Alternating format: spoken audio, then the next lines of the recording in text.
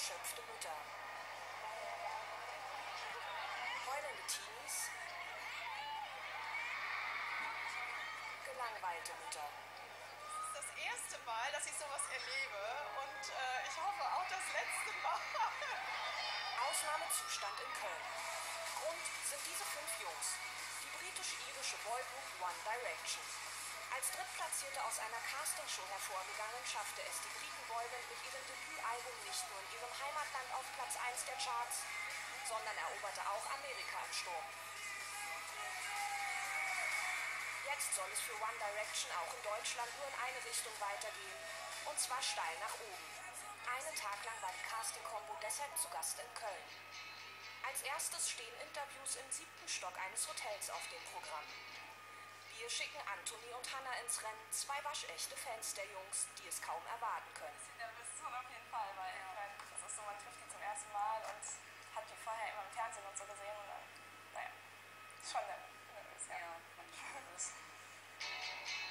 Dann ist es soweit. Die Tür geht auf und fünf gut gelaunte Jungs betreten den Raum. anyway, hi, hi. Very good to meet you. Hi. Professionelle Begrüßung, Platz nehmen und dann können Anthony und Hannah das, wovon andere Mädchen nur träumen dürfen. Die Jungs hautnah interviewen. Dabei liegt ihnen eine Sache besonders am Herzen.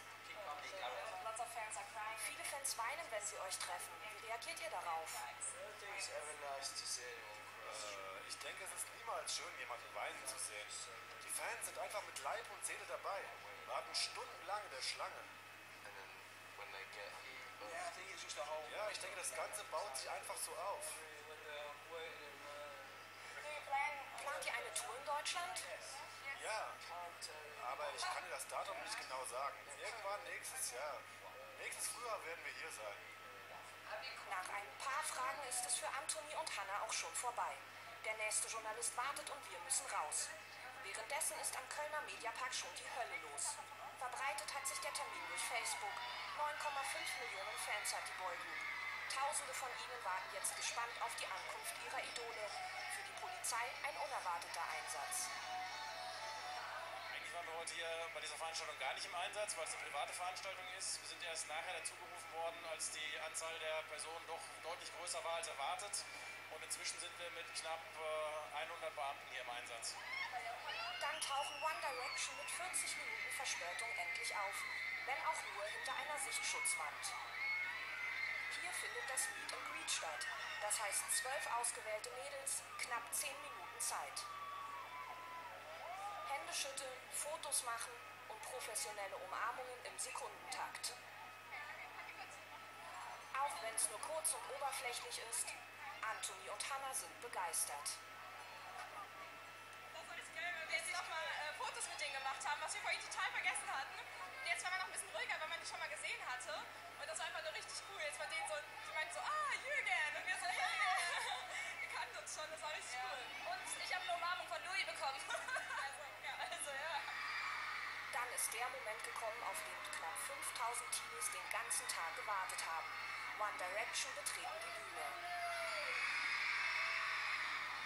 Nach einem Pressefoto bekommen die Fans jetzt endlich ihr heiß ersehntes Autogramm. Aber nicht alle, mehr als drei Viertel von ihnen wird leer ausgehen. Umso glücklicher sind die, die es geschafft haben. Das Beste, ja, Beste meinem Leben. Ich habe ein Five bekommen vom Harry, Louis und Harry. Äh, Zane war es noch. Das war echt geil. Seit wann wart ihr heute hier? Seit halb sechs, seit um fünf. Maßlose Enttäuschung hingegen bei denen, die leer ausgehen. Große Emotionen scheinbar ganz normalen Samstag. Sieht so aus, als hätte das Phänomen Boygroup nichts an Faszination verloren.